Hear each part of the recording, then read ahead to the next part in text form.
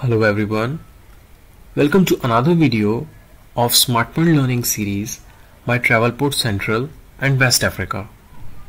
In this video, we will learn to book seat by using graphical interface and cryptic entries. So first of all, we will learn to book seat through graphical interface. For this, all you will have to do is just click on any class code which is in green color and then the window of seat map will be displayed in front of you. Here you may see all the segments of your itinerary and you may click on desired segment to see the seat map of its flight. Here you have the seat type option. You can click here to filter seats as per price and your requirement. And below you may see the colors indicating status of seats. Now, to book an available seat, click on seat number. If it is a paid seat, price will be displayed and if it is a free seat, then it will be marked as free seat.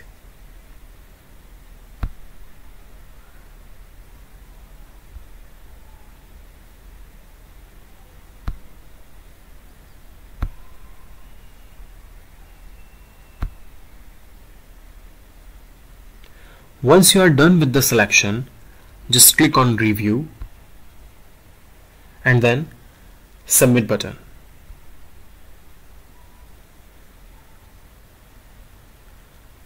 Once you click on submit button, you will see this message that all seats have been successfully booked. Now you can close this window.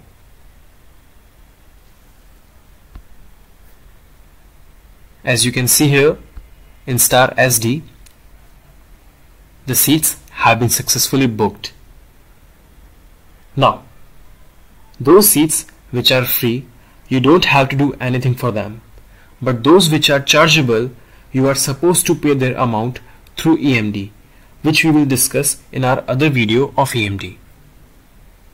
So basically, that's how seat booking is performed using graphical interface. If you want to delete a selected seat, then Click on class code to open seat map and click here on X to remove the seat and then review and submit to confirm.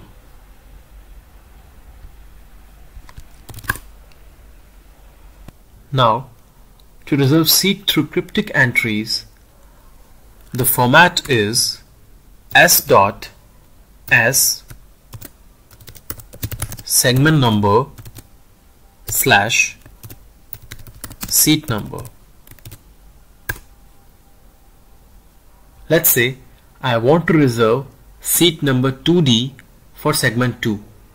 Then I will write s dot s2 slash 2D.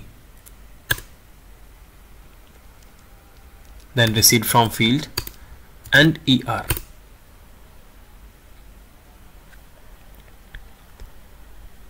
And here you may see we have successfully reserved seat number 2D for segment number 2. Please note that paid seats cannot be booked using this command.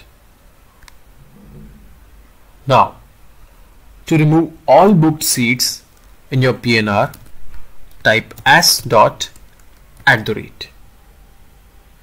And if you want to cancel seat, for a particular segment then type s dot s segment number and then at the rate. Let's say I want to cancel this seat which we have just reserved for segment number 2 so I will write s dot s2 and then at the rate. Sign and ER to save changes. And here you can see we have successfully removed the seat which was booked for segment number 2 so that's how you book and cancel seats in SmartPoint. Thank you so much for watching this video and please subscribe and share our YouTube channel.